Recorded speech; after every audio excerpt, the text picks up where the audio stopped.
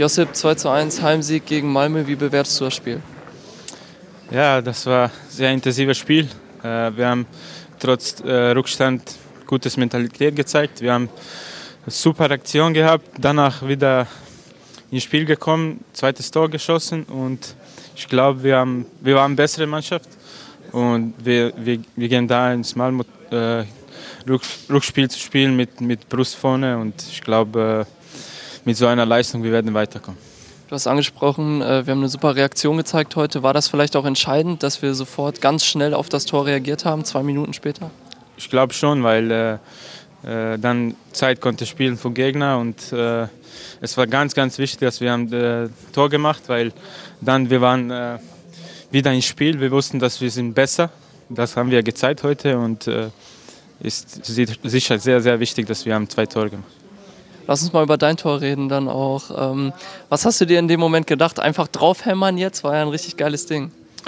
Ja, ich wusste, ich hatte das Gefühl, dass heute ist mein Tag.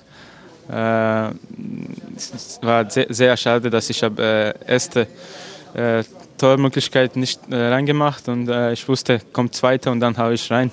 So war mein Gefühl und äh, zum Glück ist super super Tornende und äh, hat ich glaube viel geholfen zur Mannschaft und äh, wie gesagt wir, wir waren eine bessere Mannschaft und wir werden das zeigen im zweiten Spiel. Danke dir.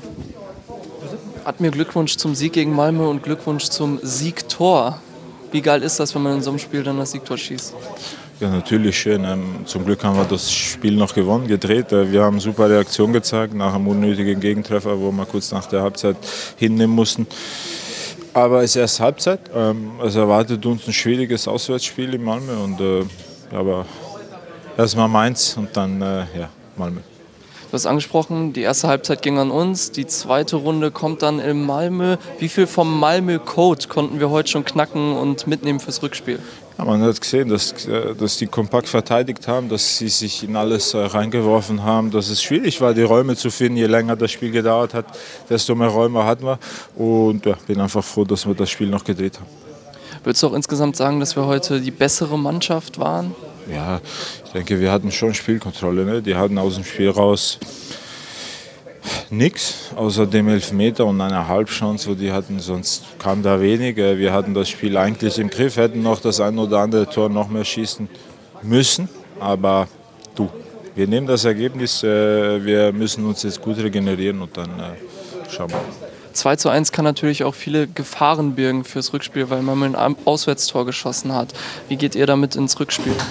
Ja, definitiv. Es ist ein gefährliches Ergebnis, ja, aber wir müssen uns jetzt gut erholen. Jetzt erstmal kommt Mainz und dann äh, gucken wir weiter. Danke. Bitte.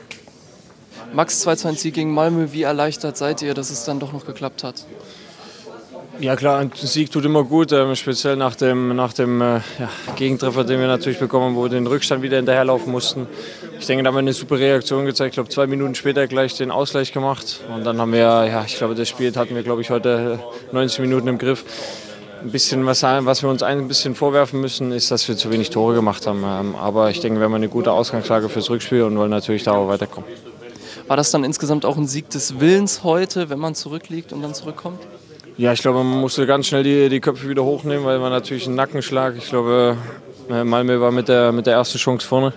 Und ähm, ja, war natürlich ziemlich schade für uns, dass wir diesen Aufwand, den wir in der ersten Halbzeit wieder hatten, dass wir da gleich aus der Kabine rauskommen und da gleich wirklich ein, ja, die Tür zugeschlagen bekommen. Aber wir haben sie mit aller Macht wieder aufgerissen und ähm, ich denke, wir haben auch verdient äh, hier das Spiel gewonnen. Was würdest du jetzt sagen, worauf kommt es an im Rückspiel? Also die Fans werden wahrscheinlich sehr euphorisch sein in Malmö auch, haben wir ja heute auch hier gemerkt. Worauf wird es ankommen, dass wir da dann auch als Sieger vom Platz gehen und in die nächste Runde einziehen? Ja, ich glaube, wenn wir da zu Null spielen, haben wir, sind wir schon weiter. Top, danke. Schönen Abend.